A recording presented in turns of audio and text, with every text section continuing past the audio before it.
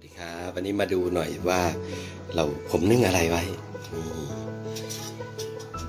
อ้าวนี่แหละคือมันเห็บอันนี้ผมนึ่งแล้วนะหลังจากที่เราซื้อมาเมื่อวานนะเดี๋ยวจะมาดูว่า รสชาติเป็นยังไง เพราะยังเราไม่เคยกินฮะเดี๋ยวเดี๋ยวต้องดูนะว่ารสชาติเป็นยังไงเดี๋ยวให้ชมกันอะนี่แหละครับ มันเห็บในตักมาแล้วนะ จะลองปอกทานดูนะจะรู้ว่ารสชาติเป็นยังไงนะมาดูกันนะนี่นี่ฮะเดี๋ยวปอกนิดนึงใช้มีดปอก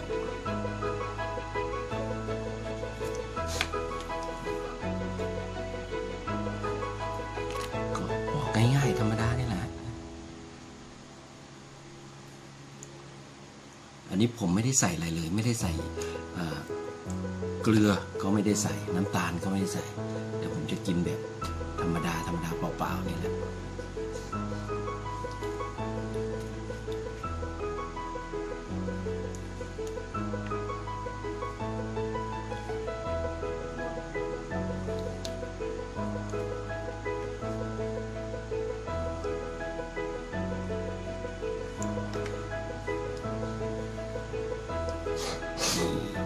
ออกแล้วนะ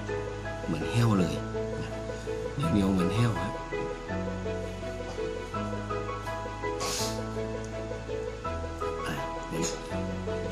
ลูกไม่ใหญ่กำลังน่ากินเลย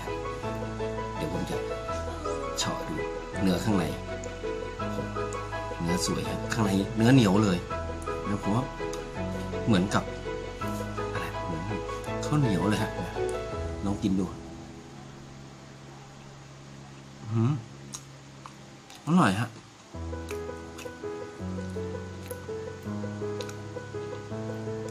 มันมันหวานนิดนึงอะหวานไม่เยอะกำลังดีให้กำลังดีถ้าไปทำใส่กะทิเหมือนที่แม่ค้าบอกอะอร่อยเลยจะได้เลย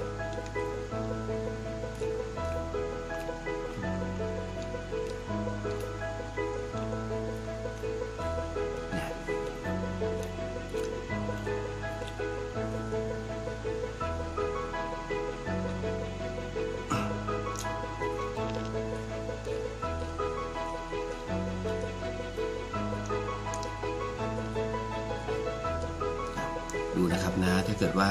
ใครที่ผ่านไปเจอมันเห็บลองดูนะ ลองดู ซื้อมาแล้วก็นึ่งนะอย่างผมนี่นึ่งเขาบอกอย่างแม่ค้าเขาบอกว่า สามารถที่จะต้มแล้วก็ใส่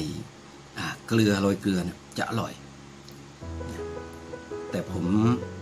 ตัวเองเป็นเรื่องของความดันด้วย เพราะฉะนั้นเราหลีกเลี่ยงเรื่องเกลือนะเนี่ยกินสดๆ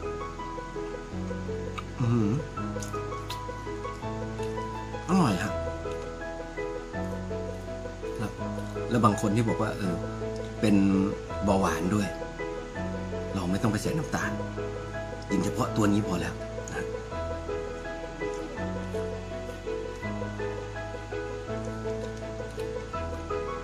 เหนียวเหนียวมันมันรสชาติทางดี อืม ไม่เชิงหวานนะ ไม่เชิงหวาน รสชาติ อืมกำลังแบบนิดเดียวหวานนิดเดียว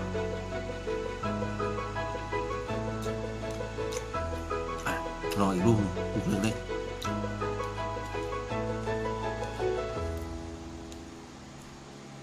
เอาแบบพอดีคำนะ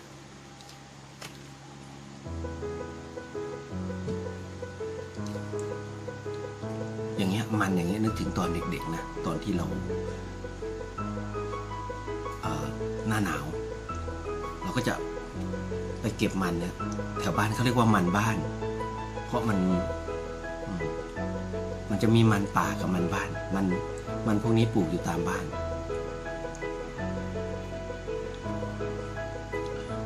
ตัวนี้มันเป็นเม็ดเล็กๆที่อยู่ตามเขาเรียกว่าตามเครือมันนะแล้วก็ไปเก็บ เอามาย่าง แถวบ้านเขาเรียกว่าหำหำมันนะไม่ใช่คำที่ไม่เพาะนะมันเป็นเรียกว่าหำมันลูกลูกเล็กๆนะกลมๆแต่มาที่ปัจจีนเขาเรียกว่ามันเห็ดอืมผมนึกออกแล้วผมเคยกินนะสมัยเด็กย่างเรานั่งผิงไฟไปด้วยแล้วก็เอานี้ใส่คุกใส่ใต้ขี้เท่าอะมันร้อนๆโอ้โหนั่ง สุดยอดฮะ นั่งผิงไฟไปด้วยกินไปด้วย อร่อยฮะอืม